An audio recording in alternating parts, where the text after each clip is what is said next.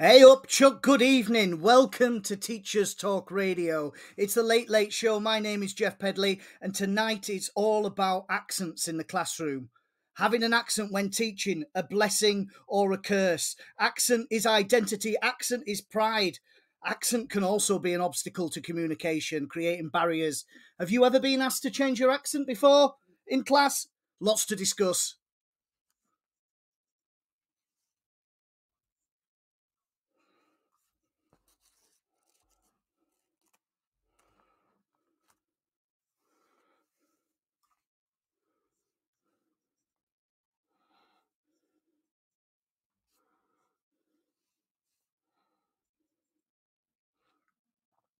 Thank you so much for joining me this hot Tuesday night live from Belgium. Uh, the more aware of you may have noticed I have swapped my shift from Thursday night to Tuesday. I will now be presenting the Late Late Show every Tuesday night, uh, and I'm looking forward to hearing uh, hearing from you. Now, Fernando Lamas once said, "When a person has an accent." It means he can speak more than one language. He can speak one more language than you. Now, does that mean with my Yorkshire twang I'm finally bilingual? I don't know. But thank you so much for joining us tonight. I am so, so excited to be discussing this topic. It has created quite a stir on Twitter. I have to say, it's probably the most amount of comments I've ever had uh, to, to to, to questions before. And before I introduce my special guest tonight, who is going to share some very interesting studies about accent in the classroom. Remember, we want to hear from you. Uh, do you change your accent in class when you're teaching? Has it ever caused a problem? Has a leader ever asked you to modify your accent? Do you believe students should hear more accents and more local accents? Now, I really want to hear. Uh, I really want to hear your comments on this, and you can keep in touch with us all the way through the show, either by texting in on the Podbean app or by using the hashtag TT Radio. You can also get in touch uh, with the handle at TT Radio 2022 or via my own personal Twitter at Jeff underscore Pedley at J E F F underscore P E D L E Y. Now, I never really thought about my accent in my teacher training. I'm uh, originally from Bef- uh, from Beverley in East Yorkshire, although I've lived in Bradford and uh, my family's from Bradford, and I grew up in Richmond in North Yorkshire. I've moved around Yorkshire quite a lot, uh, and I did my teacher training in Lancaster. Now, again, it didn't really pose much of much of an issue just going across uh, going across the country, and it wasn't until my NQT year when uh, I went down to Essex. I went down to a, a, a town called Witham in uh, just outside, in between Colchester and Chelmsford, and I remember one of the very first lessons I ever taught. It was a year ten class, so fifteen year olds, and it was it was almost completely girls. I remember it was about twenty five females in this class, and it was. Uh, learning to learn class, you know, one where they were trying to get students to reflect on their, their learning strategies and methodology. And I remember nervous NQT, I came into the class and uh, I, just without thinking probably went right into my Yorkshire accent. I was like, right, don't want out on, don't want out on tables. Needs to be out there, please. Just get on with it. And I remember this girl putting her hand up and going, "Sir, what part of what part of Scotland are you from?" And before I could even before I could even reply, the girl next to her tapped her really hard and went, Shut up, you silly car, he's from Wales. And I was stood at the front of the class. I remember replying, I'm from a little country called England, not too far, four hours up the road from you. And it really struck me for the first time I need to be careful. If I can't even say nout and out, of course, why would I be able to say that? But ever since then, I've I really have watered down my accent, and it was commented on quite a lot. Uh, I then moved further into further towards the Big Smoke and in, in, into an academy in Tilbury, and again, I I really I really slowed down. I really slowed down with my accent when I was teaching. I actually now for the regular listeners, you'll know I now teach in Belgium at a European Union school, and I really, really uh, am careful when it comes to my accent. However, these students really need to be exposed exposed to different types of English, of course. Now, uh, as I said in my introduction, there, accent is identity, accent is pride you know but it's also that balance with it with it being a, a, an obstacle to communication. And like i say just before i introduce my guest here remember you can comment in. Already i'm seeing lots of uh, lots of texts and, and lots of things on the twitter and i'll try and get through as many uh, people as i can uh, as i can over the next uh, over the next few minutes or so. Uh, i'm just looking for my guest because I'm really excited tonight to be uh, to be speaking to a lady called Lisa Marie McGee. Now she'll she'll be calling in in a moment's time or so. However, she has recently done a study on uh, a, very interesting study all about accents in the accents in the classroom. Okay, I'm just uh, sorting out the telephone call here. Lisa, can you hear me okay, Lisa Marie? Yes, I can hear you. Can you hear me? Excellent, loud and clear. So, uh, thank you so much for joining us tonight.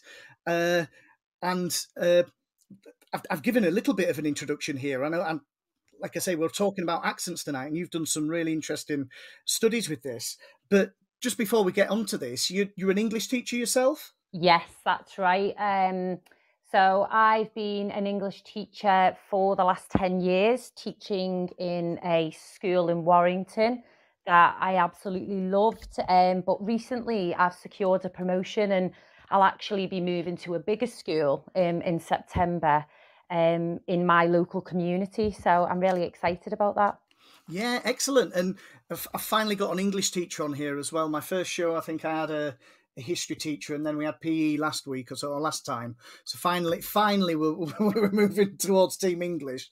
Uh, and so, what, first things first, why did you decide to to study accents in the classroom? What was it that brought you into this area? Um, okay, so accent um, is something that has always really fascinated me.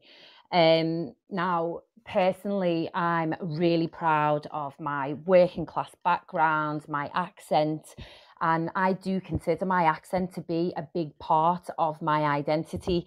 Um, and throughout um, my teacher training, there were times, particularly, um, you know, at university, uh, where I had negative comments made about my accent. And mm. it was then really that um, uh, it sparked some interest and and throughout the years teaching accent you know being an english teacher it's something that i have taught explicitly in the classroom and something i've always been really passionate about. So when i started um, my research i was really interested in the journeys of educators from across the uk and uh, the world and how their accents were perceived by others and the impact that this had on their careers and in yeah. their everyday teaching. Yeah, it, it's so interesting. The area that you're from as well, in the northwest. I mean, what a rich area when it comes to accents as well. Absolutely, yes. Uh, we've got you know a big range of accents in in the northwest, and um, that was something that came out in the research as well. That um, lots of people, and it, it, was it was really good. The you know the feedback we had for, was from such a range. Um, was excellent. What uh, what were your main findings? I mean, you in fact, even before we go on to that, you touched upon the fact that leaders commented on your accent, or you were you were told to uh, to modify your accent or water down your accent. Can you remember exactly the conversation or what you were asked to do? Um, it, it, wasn't actually. Um, I've never been explicitly told um, to modify my accent, but I have had colleagues and friends um, who have had those um, conversations with senior leaders and reading, you know, this research that came out. Um, and I, I'm reading through some of the comments about, you know, these teachers um, mm. being asked to modify their accents you know by a senior leader in particular i was astounded i i'm reading through these things thinking this this can't be this can't be true this can't be happening in the classroom today you know this can't be happening in schools but it absolutely is present Um, and it, it, mainly comes from the those people with really broad accents. Um, you know, uh, people that were saying my, my uh, they told me to um, I needed to sound a little bit more crisp and clear in the classroom so the kids could understand me. Um, you know, and I've had it working in a school in Warrington. I didn't think it'd be an issue, but I, you know, I have had comments made about my accent, and it isn't that far away from where I live. Yeah. But um, you know, it, it has happened, uh, especially with you know when you you have students as well. I think it's a big thing for students to comment on as well. Yeah, it's that battle, isn't it? As we as we've talked before, because accent is identity, as I said in the introduction there, and if someone asks you to change it, if someone if someone asks you to to modify and, and to a to a to a degree as well, of course, dialects we're kind of over, overlapping here with the words that we're using as well, but uh, maybe maybe to a lesser degree, and but it, it is that battle, I guess, between being understood as well, you know, and and and I can imagine that's where it comes from the senior leaders. Uh, my when I was in a in an academy in Essex, I always remember on the first day of the first day of term, the one of the CEOs, I think the uh, uh, uh, one of the uh, senior leaders, uh, telling us all that we that we had to try our hardest to speak uh, with a standard English accent. Now she did talk a lot about dialect as well. Uh, uh, there was a problem uh, with people going, "We, you know, I were." we was, we were, you know, mixing them up. Right. But yeah. but it it was really interesting because the head teacher was from Dublin and a really strong accent. The CEO was telling this was from Yorkshire, and we had the, the, deputy CEO, and within the staff we had South Africans and Australians and all of this. So, so a really rich, really rich accents there. You yeah. know, so for you to be told, you know, to kind of speak in standard English, it's that received pronunciation, you know, the the, the BBC English that we hear. Um, eh, uh, yeah. you know, I think it takes something away if we, you know, if we are told to speak that way. I think it takes something away from not only that individual, but the children that are sat in front of us and they they don't get that opportunity to hear all those different um, accents and the richness that goes with that and it, what makes uh, you know our, our, language brilliant. Yeah uh, and you again i'm just going back to your point there about leaders commenting on this do you this was this one of the questions you asked explicitly in your studies? It was yes. Um, so uh, the study I carried out um, consisted of 250 educators from across the UK.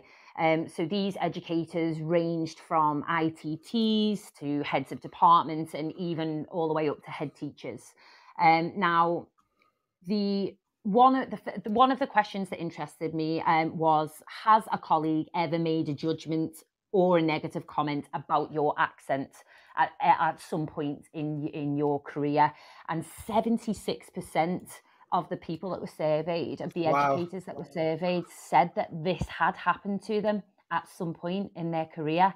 Seventy six percent. Uh, yeah, seventy six percent, and I, I, I was, I was quite taken aback by that statistic. You know, um, from someone who comes from, you know, like the northwest um, like I, like I said, I'm I'm really proud of my accent, and uh, I'm one of those people that always stands up for others. And I think you know that idea of the negative comments around accent when it's such a big part of of who you are, you know. Um, yeah it's it's really derogatory, isn't it, to to comment on such a thing? I'm just going to read out a few of the comments that I've had online and on Twitter and on Facebook of of what people have been asked to change uh, by by by their by their leaders. We had uh, an English teacher called Reach, uh, sorry Rita uh, Maculita, who wrote in saying, "Being from Dublin, I definitely uh, sorry, I was told to water down my accent working in Essex. I had to slow down and change the way I said things. And she said that Irish teachers, I, I, I, know this that students take the mick out the Irish teachers, especially the maths teachers, dirty tree and a turd when they see 30, oh. 33 and a third, dirty tree and a turd. Uh, we had uh, Fiona texting saying that she, when she was working in uh, South London. She was asked to stop sounding so much like a Cockney, and her reply was, "I am a Cockney." She was told to speak more Queen's English. There was a, a geography teacher called Lisa Matsix who said when she worked in a school in Manchester, they thought that her Cumbria accent was hilarious. They would say, uh, sorry, she would say, "Are you sure?" But she would say it like "Sure." Are you sure? And they would struggle to keep their faces straight, and they would say "Sure." Uh, but she changed her accent. So this this teacher worked really hard to change her accent so it fit in with the Manchester accent. And then when she went back to Cumbria, really struggled. And I've had that. Uh, it's really interesting. I've seen that comment quite a few times of when people have gone back home when and and even though they're surrounded by their home accent, they still have their adapted accent like left over. Uh, it's really, it's actually yeah. really interesting, that isn't it? it? Moving from place to place, and you know, it, it, it is a very natural thing to um, pick up on someone's accent when you're spending so much time in a certain place or with certain people. Um, but you know, going back home, and uh, you know, I, I found that really interesting. Yeah. What What else did you find in your studies? Um. So the uh, another thing that uh, another question that I posed was, um, do you think someone's accent can impact their life chances. Um, I'd ask for a little bit of feedback on whether people could give me some, um, you, you know, ideas of yeah. um, responses. Now, 73% of people there said that they do believe that accent can impact life chance. Um, now, a lot of the responses here were around the idea of unconscious bias. Now, I had people talk about mm. they believed unconscious bias around intelligence. Um, I, I, had someone uh, someone who is from Birmingham say that they had been judged quite negatively because of their Brummie accent. Um, mm. and that they were always perceived to be less intelligent than they were just because of their accent. And um, she actually has a, a doctorate and um, is extremely intelligent, and yeah. and I really enjoyed telling people that story, uh, and it, it, it did make me smile. You know, um, another person. Some people regard certain accents, particularly those from the north, with having, um, you know, with derogatory and negative stereotypes. Mm. Um, and, and again, broad regional accents can be more likely to be stereotyped, causing discrimination at interviews and things like that. And interestingly, that is something um, that a few people had talked about how they believe that they were really overlooked at interview, and it fell down to that idea of them having quite a broad accent. Why do you think this is? Why do you think?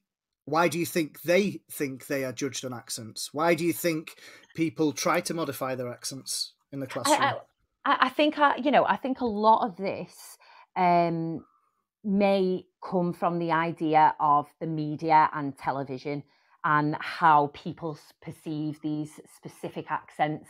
You know, um, I've I've read some awful derogatory comments about uh, you know mm. people like like the Scouse accent, Liverpudlian accent, um, so, much so like our kind of I don't want to read anymore. And I, I do think, you know, people have these um, subconscious bias, uh, you know, and, and it's it's almost drip fed through the media, and um, through the TV shows that we watch, the news that we see. Um, you know, mm. and it can even kind of come down to the things that we hear in our homes. You know, what what do your parents think um, of certain accents and the conversations that you'll overhear at home because I think you know especially when it comes to students and accents some of them don't even realize that they're being negative towards a specific accent. They don't see yeah. the problem with it.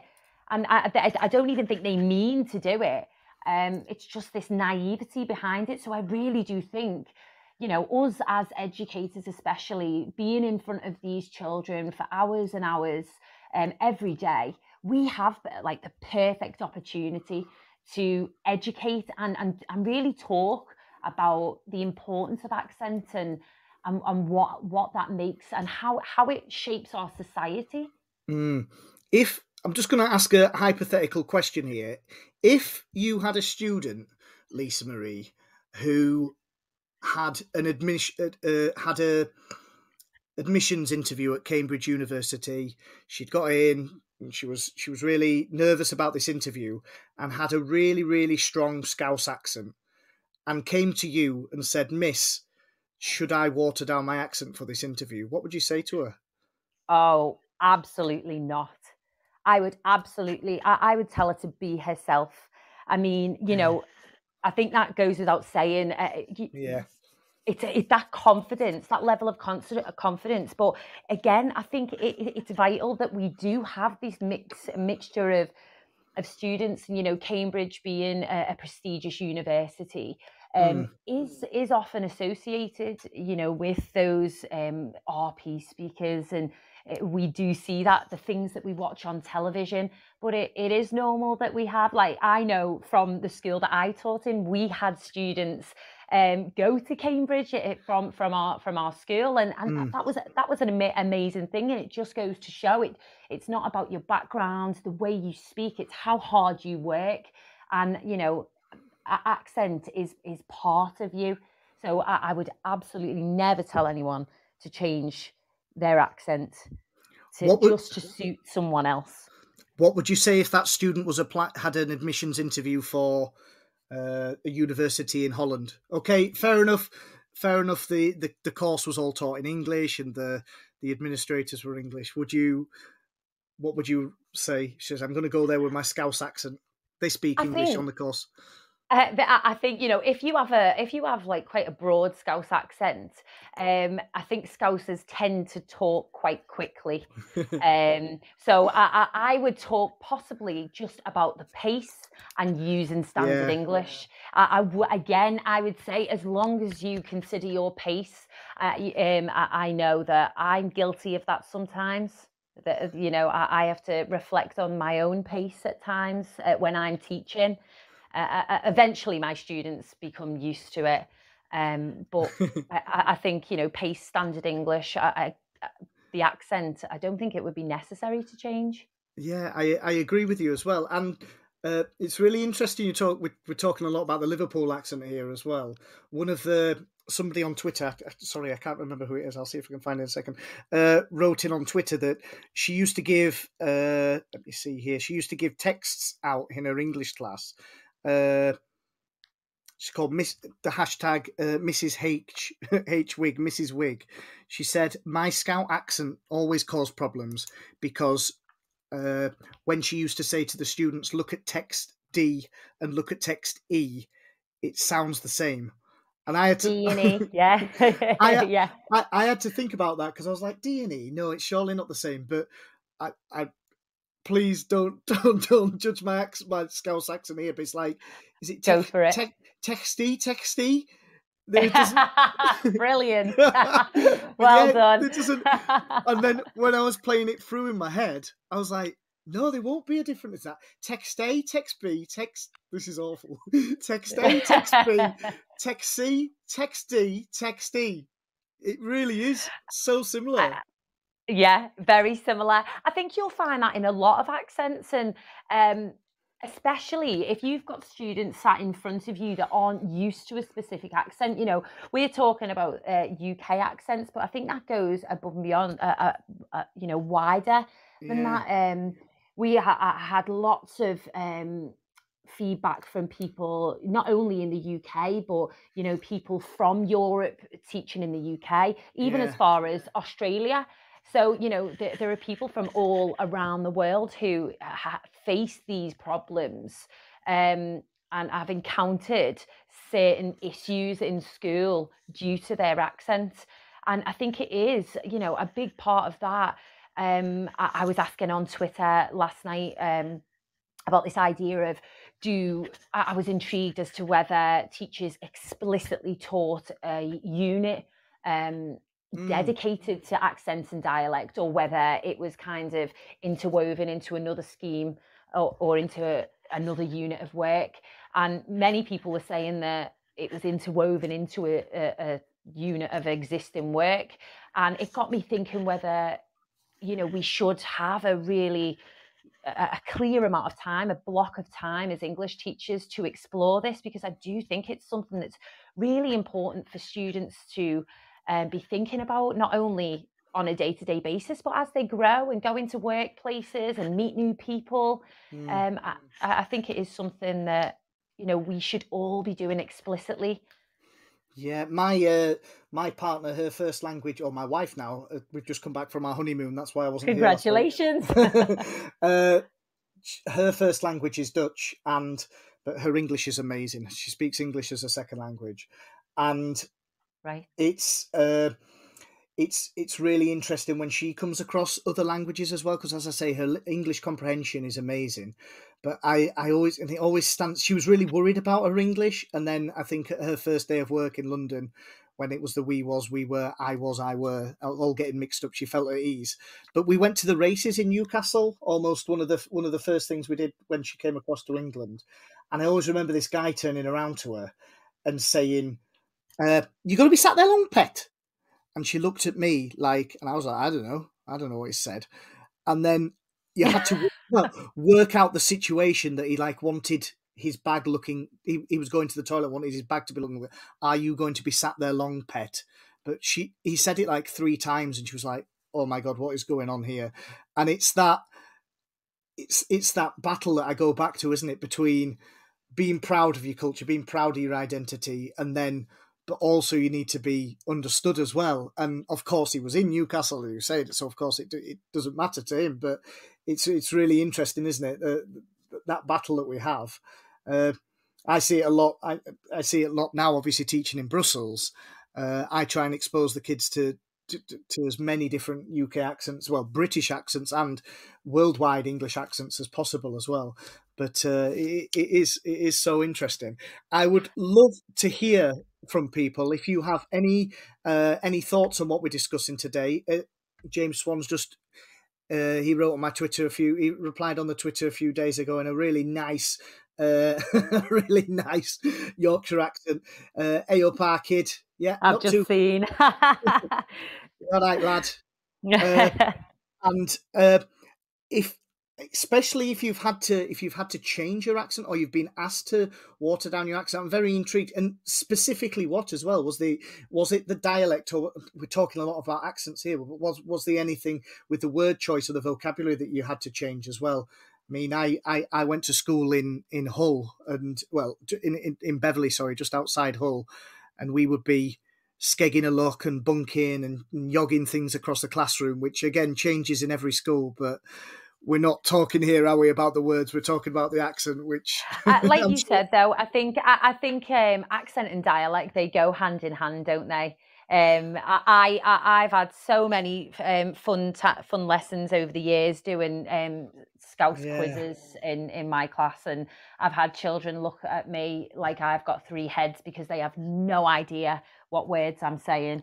Um, so I do think it is, it, you know, dialect is just um, an extension, isn't it? It's part of of that identity as well. Yeah, I completely agree. Listen, Lisa Marie, I could talk for ages about this, but we're going to go to the news now and we'll come back in a few minutes. We've just got Absolutely. some news and adverts. Thank you so much. And thank you so much for everybody who has uh who has messaged in so far. I know we've had a uh, a couple of callers as well who want to get in. We will try you get in, get you in in that second half.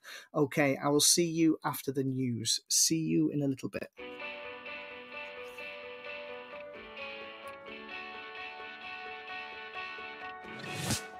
This episode of Teachers Talk Radio has been made possible with support from Witherslack Group, the UK's leading provider of SEN education and care.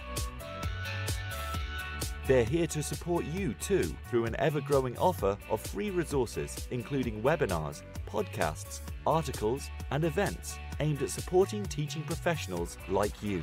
Visit their website at www.witherslackgroup.co.uk to find out more.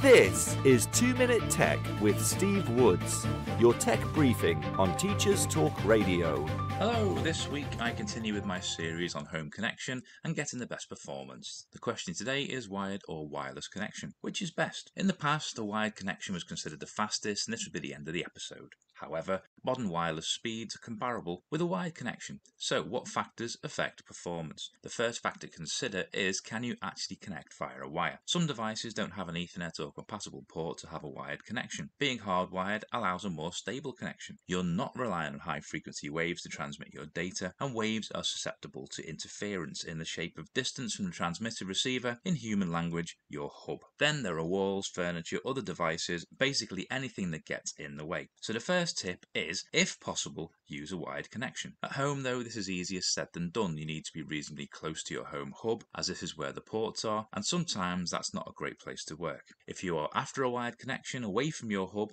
then take a look at using powerline adapters. These are two plugs that use your existing home electric wiring to create a virtual wired connection to anywhere in the building that has a plug socket. They are relatively cheap and some can also be used as wireless extenders, allowing you to create a better Wi-Fi coverage in dark spots in your home. At around 30 to 50 pounds, it's a relatively cheap and aesthetically pleasing option compared to running cables around your home. Meshing is the next solution to improve coverage. More recently, homes have been adopting the mesh system. Meshing is linking wireless access points together to extend their range. All have the same sign-in so you can seamlessly move from one to the other with uninterrupted connection. Starting at around £80, it's a more expensive option, but if you only have devices that use Wi-Fi, this might be the answer for you. With most home networks, after bandwidth availability, interference is your next enemy. Always try to place your home hub in the most central place if the telephone sockets allow, otherwise consider powerline adapters or meshing. Most modern internet providers give you options to buy these devices from them. This will guarantee it works for your network, but be aware this will come at a higher price tag. If this has given you food for thought, I'd love to hear from you. Why not get in touch at TT Radio 2022? Follow us and tell us what you want to know about tech.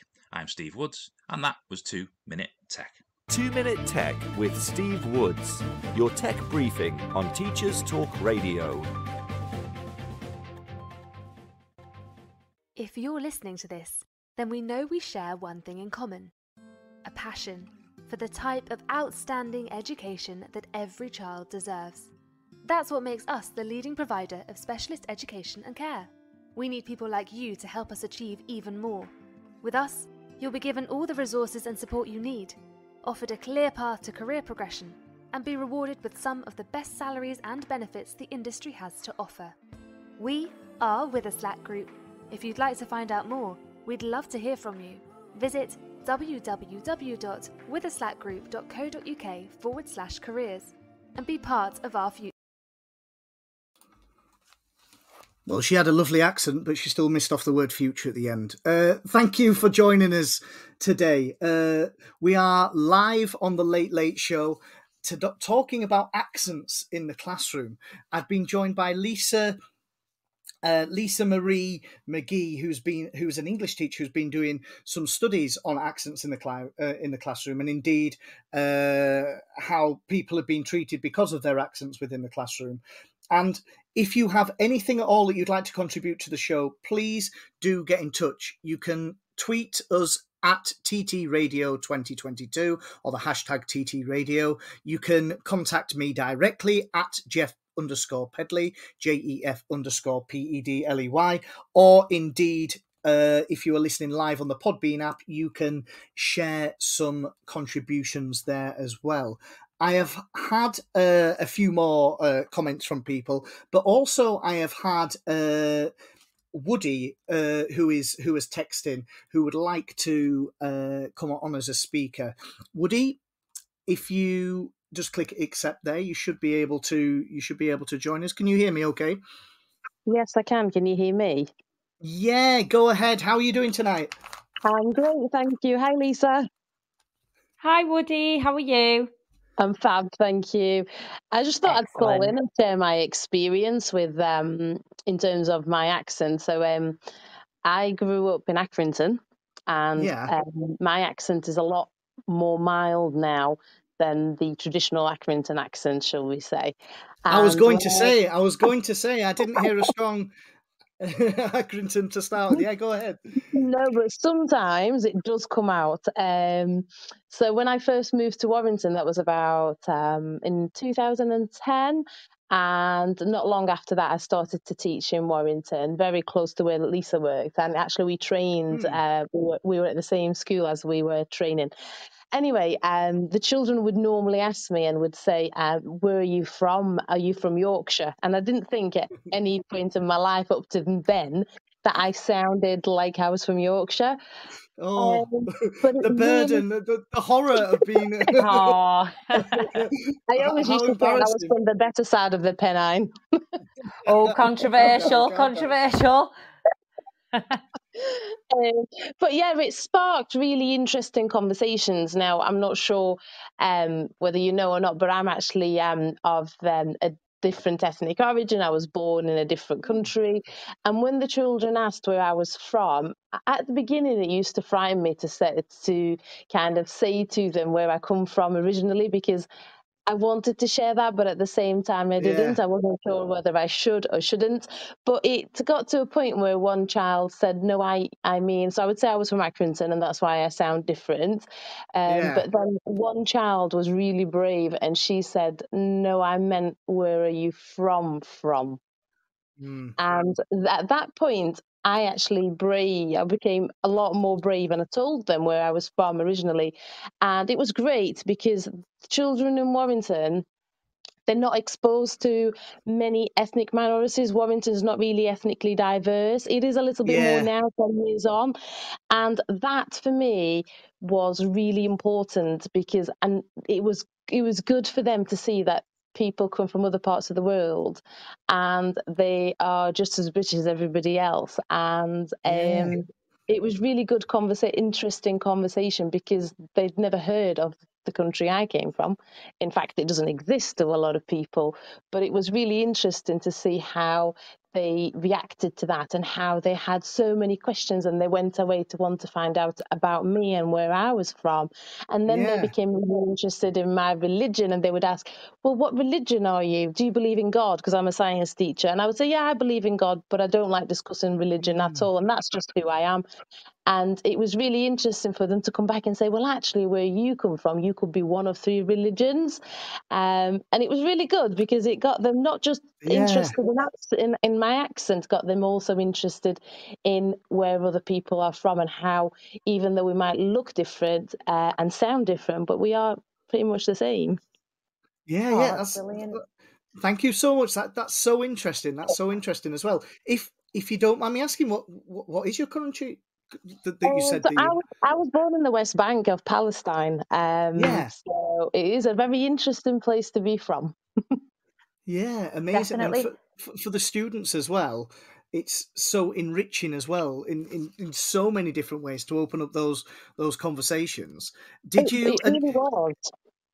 And just going back to your, your accent, you said you you've kind of watered your accent down a bit over the years. Did you say? It changed over time. I don't. It wasn't a conscious effort. Um, it just changed over time. And sometimes when I'm angry, um, I would come out very much accented. Um, if sometimes my boys say to me that if I'm angry in Arabic, I, it's it, I'm a different person. So it, it, just, it just happened. It just changed over time. But going back to the conversation where children become really interested, like when I worked at when when I worked in Haydock, um, my accent uh, my accent was a topic of question all the time in the classroom. And one child was adamant he wanted us to see a picture of my father when he realised that I come from a hmm. different place. And I said, "Why would you want to see my dad?" And eventually, I said, "Do you know what? I'll show you a picture of my dad." And I did. And he said, "Oh, Miss, he just looks like the rest of us." was, what like what was he expecting? that conversation because he thought my dad would be would look like what you think Arabs are in in mm. like what you see in films or I don't know Lawrence of Arabia. I don't know, but it was yeah. really good, and I love those conversations, and I still have them now in my current school in Warrington, and it doesn't make me feel negative in any way, shape, or form. I do love the fact that they use they they see asking about my accent and it opens and it gives them a chance to ask about where I'm from and my background. And I love telling them that because I think it's important that they that they know. And it's I a think, connection, um, isn't it? Sorry, go yeah, ahead. I, th- I think it's you know it's really important. You you know you're a science teacher as well, and the fact that you will stop that learning and have those conversations, I think is fantastic. I think we need more of that. We need, you know, teachers not to be afraid to um, to talk about these things during lessons and you know stop the learning when appropriate and when necessary yeah, yeah, and it is learning. I mean, it might not necessarily be science; it's still linked to science, um, but uh, it, it's important for them to to see that people coming from different places um, still have so much in common. Everybody is there's more that unites us than than than than not, if if that makes sense. And yeah. it, it, it, sometimes it's having it's difficult to ask people where they're from because sometimes it makes it makes it come across maybe racist but when my children mm. they see me when they're comfortable with me and know and know what i'm like as an individual not as their teacher they be, they have that confidence to ask and to to ask those questions. And I think it's it's good. It's important that they can have the confidence yeah. to ask these questions because in other places, in, in another context, it might be deemed as, well, why are you asking me where I'm from? What does it matter? And actually, some mm. people might see it as quite offensive. I don't, not not with my students. And if anybody asks me, I, I mm-hmm. don't get offended at all. But you can see where I'm coming from. Some people would perceive it as quite offensive to be asked yes. where they're from. Yeah. And I suppose would it, it, it works on the flip side as well. So, for example, if you could imagine a a, a teacher who who was from the same ethnic background as the students, but then had a really strong Palestinian accent and mm. was proud was proud of their accent. Yeah, yeah, yeah, know, yeah just bringing it back to the accent, just the accents from here as well. But uh, and, um, I, I, see exactly what you mean. Uh, two things that came out of that from from me, just to that quick discussion, uh, kind of going away from la- accents but into languages. I'm learning French and Dutch at the same time. At the, well, not very well, but at the same time because of, of where I live in Belgium. And people at, at work say I have a, a, different personality when I speak French, like a proper oh arrogant, arrogant personality, which I'm certainly not. But I can't help it when I speak when I speak French. And likewise, uh, the second the second thing that came out from that when you were talking about the students saying, "Oh, did you have a bit of a, a Yorkshire accent?" and, and, and being a very slight difference in your accent. I once worked. I did one year where I worked up in the Lake District, up in uh, South Cumbria, and it must have only been like a couple of hours drive from where I grew up and where my where my family was from. And the first day I, I did the induction day at the school, and then I went to the local the local pub, just asked for a pint, and the barman said within me with me just saying, "Can I have a pint, please?" Blah blah blah. I sat down. He said, "You will never be welcome in this village with that accent." Ah. And I said, "What accent?" I says, "I sound like not too different from you. And he went, No, that's a Yorkshire accent. We're South Cumbria, but we used to be Lancashire and we don't like Yorkshire people. And it was like 99.9% white area. And their issue was people speaking with a slightly different accent. Uh, and it always it always stood out from me that, and I was I was gone from that area within within a year because they actually they actually were like that sometimes. All Yorkshire folk coming over here, it was like a wow. peninsula, peninsula in the edge of, of the Lake District. Uh, I just want to move on to a couple of comments, uh, Lisa Marie, that people have uh, texted in, if that's okay, and, and, just just to see how this how this matches up with with a bit of your research as well. Uh, but again, it's all very similar to what you talked. It, it kind of supports that idea of what you said before about 75%, uh, 76% of people being asked to modify their accents. Uh, and I get, and, and I guess some of the, but some of these have come from the the teachers themselves rather than leaders. There was, uh, I got a tweet in from Melba Max who said, "I've never been asked, but I have. Ch- she's from Northern Ireland, uh, and she started teaching in Derby in England. And she said that she was asked to, that she started to modify her phonics sounds when she taught because she was a key stage one teacher. Uh, for the spelling for the in, in key stage one, she had to change the O W O U sounds and the AI the ow, the ow, yeah, yeah. Uh, yeah. That's actually something that uh, um, I, I, was going to talk about. Yeah, yeah. Um, go ahead. Go ahead. So, one of the um, questions that I asked, um, that I posed was Do you think teachers should modify their accent if it's too broad? And 83% of um, educators actually said no. Um, now, I was quite surprised by that because I thought it'd be more of a 50 50 for that exact reason. Because when I thought about the question, I thought, you know, there will be certain situations where, um, especially, and phonics was the one that came up the most in the feedback. And when yeah. I was thinking about it, um, you know, in order for um, those students, especially at key stage one, um, key stage two, you know, to to get that grasp of of phonics. Um, they need to be explicitly taught those sounds, and it needs to it needs to come from that kind of um, standard English, that um, RP, in order for them to grasp those sounds. Um, and a lot of um, a lot of the people that said yes, the, those accents should be modified. Mm had phonics as the reason as to why they should be uh, modified. Do you have any advice for teachers who are worried about maybe maybe like an NQT for example, or a, it's not NQT now, an ECT who uh, who have moved to a to a different area nationwide and are really worried about their accents and maybe the students are commenting on this earlier on, etc. Do you have any advice to those teachers?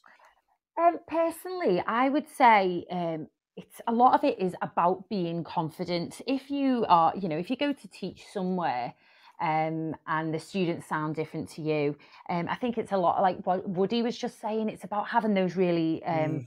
open conversations. You know, it's vital that we as educators teach our students that accents are part of someone's social identity, and often it can tell us something about, you know, things like social class, educational history, ethnic, religious affiliations. And we should celebrate accents and diversity and never be afraid to, to, to stop that learning, like I was saying before, you know, and, and have those conversations with, with the children. So I, I think a lot of it would be being confident about who you are and, you know, especially if if your accent is a big part of who you are I don't think that should change if you uh, uh, if you know explicitly change. I don't think you should move somewhere and have to change yeah. the way you sound and modify who you are. It's interesting. It's interesting that uh, you talk about confidence there. I think I think you've you've touched on a nice point there because, I, as I say, I've heard teachers talk about before. They they they feel that it's a way for the students to undermine them. If they've got a really strong accent and they're outside of their area and the students are, you know, oh, you say this differently or whatever, and then the, the teacher changes their accent. But I would I would argue that the accent isn't the issue because students can always find some some way to get under your skin from from any oh. direction. Oh. And, we, and I, I agree with you. It's confidence. Every teacher yeah, knows that. Yeah, every teacher knows that students, if if they want to, they can find yeah. some way to annoy you. and and I agree with you that it's it's confidence. And again, when it comes to the accent, it's just being proud and being this is me, this is my identity. And if you you're not happy with that, tough. You know, let's get let's oh, open the textbook and get on with it. Yeah. Uh, yeah. It's, it's interesting as well because I, I was just reflecting myself. There's teachers that I've come across that have probably had the strongest, most difficult English accents to understand, who I've taught with, have probably been uh, have probably been in the French department or the languages department.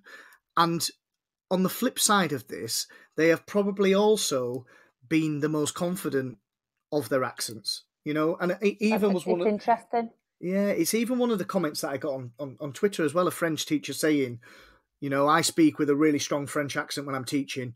They need to learn how a French person speaks with a strong accent. Get on with it. This is how I'm going to teach. You know, and and I really, I really think that's important, isn't it? That that confidence and the students the students kind of come along with you. I, because you're the first English teacher that I've had on, Lisa Marie, I'm just going to ask you a slightly different question. I hope I don't put you on the spot here. But, oh, and, and don't don't worry, don't worry at all if you haven't heard of these, because this is stretching back into my teacher training a long time ago. But did you ever do you, did you ever remember doing the uh, Cox's models when you were training to be an English teacher? Do you um, ever remember um, coming across this? do, can can you refresh my memory as to what? So it's like all it it's like all the different types of English teachers you can have. He uh, Dr. Cox was doing a, a, study. I think it was early nineties, late eighties, early nineties. He said there was five different types of English teacher, and we kind of bring this into our classroom, and that's the type of teacher we are. Uh, so, for example, do, do, you remember this? And, and if you didn't, maybe, maybe yeah, I, I, I vaguely remember this. Um, it, it touched upon um like personal growth, cross curricular. Yeah, yeah, yeah. If I remember, yeah, that, that that that was tested me, and I'm pretty impressed. I remember some I'm so I'm so sorry. I'm so sorry. But it, it just the reason that, there is a point to this. Don't worry, I'm not just going off on a tangent. But it when I think about accents and I think about being an English teacher, how you approach this action is probably the type of English teacher that you are. So, for example, Cox came up, didn't he? And he said that there were five different types of English teacher. If you had uh, teachers who, or, or, or, maybe teaching styles is a better way of saying it, but uh, the cultural heritage, where it was important to teach That's English right. for, for your culture, etc., keeping the heritage going, literature, blah blah blah. Uh, from a functional point of view, to be able to be able to communicate clearly and, and, and get on with your needs, personal growth, basically to be creative and, and, and being open, uh, analytical in, in in in the case of being quite critic a critical reader of media blah blah blah things like this and finally cross curricular that english is just a key that opens up other topics and subjects and i think the the people who maybe are really quite stru- positive about using accents in the classroom to me seem to be the that kind of cultural teach you know cultural your heritage, heritage. Your, your, pride mm-hmm. you know what i mean i'm teaching you language because this is our culture. You know, this is language is culture, language is identity. Whereas Absolutely. I feel the ones who are probably saying, no, you need to speak RP, you need to have standard English, and maybe more towards, I don't know, the functional aspect of it. I don't know, but possibly. If, that's actually a really interesting way of looking at it, I'm I'm going to go away and, and do a little bit more reading around that. it's been a while since I've I've read that report, but um, I suppose that kind of links in with this idea of you know the school's responsibility to, um, or our responsibility as educators to expose them to the, all those different types of literature and the culture that goes with, and it of you know that that all links in, doesn't it? Yeah, uh, we've just thank you so much. We've just had a comment here. Sorry, I was just reading the comment at the same time. Working yeah. in a military school from James uh, James Swan. Working in a military school, I've almost never heard someone's accent be mocked because there are so many different ones. And he says, if I got a penny for every time the kids laughed at me for the way the way oh, I that's, that's, no, that's Woody there. If I, I got a penny for, ah, yeah, ah, yeah, sorry, yeah, that's Woody. That's because Woody. I'm, I'm sure she's. Uh, that's the no. It's the he have, sound. Ah, okay, yeah, yeah, I'm, yeah. I'm pretty certain, but I might be wrong. But I, uh, like, I, and again, that's that you you you'd hear that a town over. But I I love that. Yeah. I think that's brilliant. I think why not? I love listening to different people and all and how they sound. But I had a, a conversation today. Um, she's laughing there. I had a conversation today with a, a, a friend from Northern Ireland, and um, like he was talking about how he was teaching in a um, city centre school in Manchester, and he said exactly the same thing. The yeah. accents were not, nothing was said about accents because they were so, you know, culturally rich. Uh, the, the accents, there were so many yeah. different accents. And yeah. uh, that, that's that that to me is brilliant. I, like I think that's fantastic. It's it's interesting uh, James Swan as well talking about this that when you've got a lot of different accents, it kind of cancels everybody yeah. cancels each other out with the in in maybe in terms of power or prestige or status or whatever, and like everybody is equal in that kind of sense. It in the environment that I work in, it's it's almost taking it a step further because everybody speaks different languages and completely different levels of language and there's right. no dom- there's no dominant language because we've got nine sections in our school so we've got dutch english finnish swedish italian spanish uh, english french and wow uh, spanish i don't know or portuguese sorry and the because so everybody students speak many different languages. Yeah, it's it's not unheard of in my class for them to be speaking English as their fifth language, and wow. and they still speak it better than me half the time. But anyway, yeah, uh, and but, but it isn't even just it isn't even just the accent, but it's the level of the language as well. Because if somebody comes into a class and his English is poor, nobody takes the mick out of him because they'd be like, he's probably fluent in Portuguese, probably fluent in Swedish, probably fluent in Absolutely. French or something. Do you know what I mean? So it's like that, yeah. I, that that's that again. I think that's so interesting. The amount of students that um, I have that have sat in front of me in the classroom, and I yeah. now go out of my way to you know to speak to my students with whose English is their additional language, and and talk about you know what is your mother tongue, where are you from, uh, like uh, t- tell me about your language. I, I'm really intrigued, and and then it would come out. Oh, I actually speak this language and this language. Yeah. English is my third language, and I'm there. I'm so impressed. I I, I found that so impressive. yeah, my my my best man at the wedding is, is was Dutch, and basically he would make make a mess all the time. He would have a really strong accent in English uh, when he was speaking English, and whenever I corrected him or commented, his his comeback was just "How's your Dutch? How's your Dutch?" You know, which is quite a good comeback. yeah, yeah. How's your Dutch, Jeff? I've got one final question before I do some quick fire questions at the end, if that's okay, Lisa, Lisa Marie, and we will Absolutely. bring it to a close for tonight. Uh, so my first, my, sorry, my final question is what are you going to do with it, with these results? So you've you've done this study now. You've you've got quite a lot of data back with it. What, what's your plan? Um, so I've just finished um, kind of analysing all of those findings and going through each of the responses because I wanted to give it the time it deserved. Um, you know, people have gone out of their way to to do this survey and um, I've just finished writing an article that I will be sharing over the next few days. So it would be brilliant if people could um, read it and tell me what you think. Um, and as this is something that I am particularly passionate about, I am going to carry this research on um, and take it a little further and hopefully go forward to write a book around accent, dialect, and social class in education. So that's my end goal sounds amazing. Please keep us all informed with it, and like I say, tag us in it. We'll we'll share it because it's it's been such a, an interesting conversation today. And like I say, you can see from uh, on Twitter the amount of responses that this has had over the last uh, over two days. Really, you only agreed to be a guest, didn't you, a couple of days yeah, ago? Yeah, and yeah. within that's, within that's that right. time, you've got 50, 60, God knows how many uh, responses to to some of the questions that we've asked out there. Okay, thank you so much. I'm going to end then, like I always end my shows, with some quick fire questions. So I'm going to okay. put some stupid.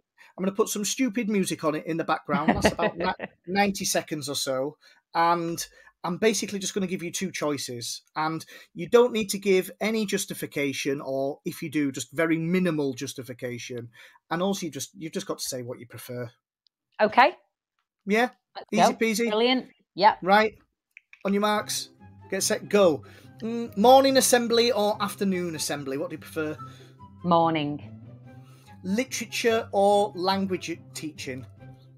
Literature. Yeah, me too. Uh, class sets or mixed ability?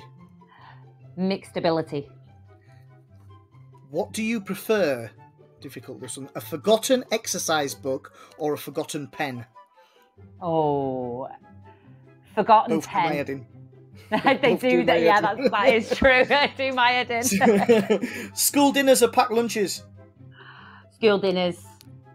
Mm, teacher parties. Can you take your partner with or without partners?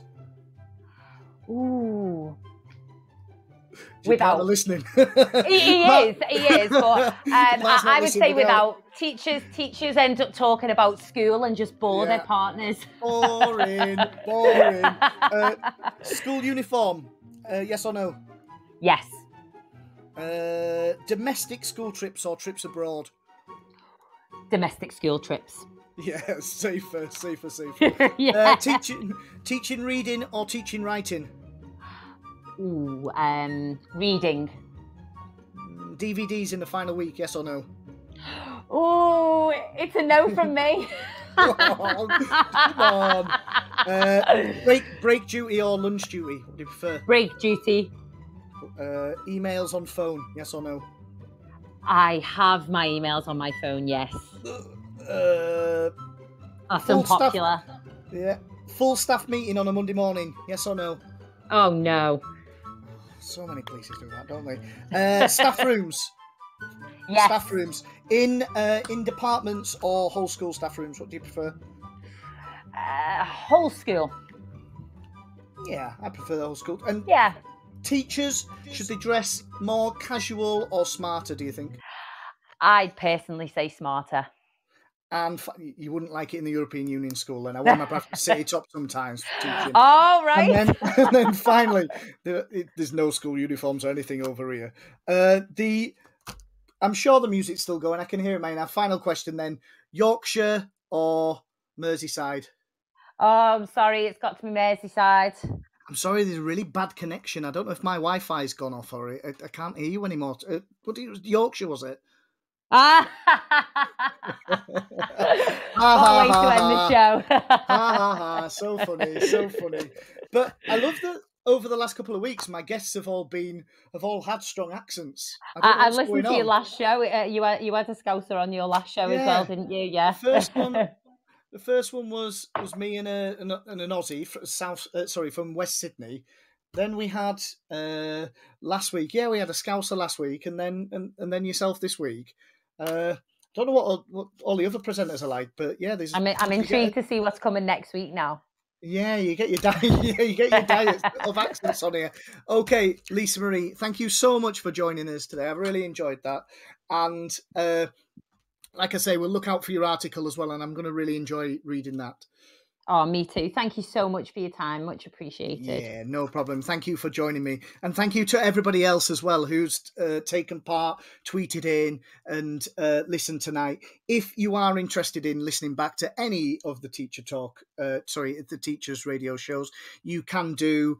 Uh, you can do via the website, which uh, and you can see that at TT Radio 2022, all of the details of past shows. And thank you so much for joining us. It's been a right laugh. Hey up. Take it easy. Bye bye. See you next Tuesday. You've been listening to Teachers Talk Radio. Tune in live and listen back at ttradio.org. We look forward to hearing from you next time on Teachers Talk Radio.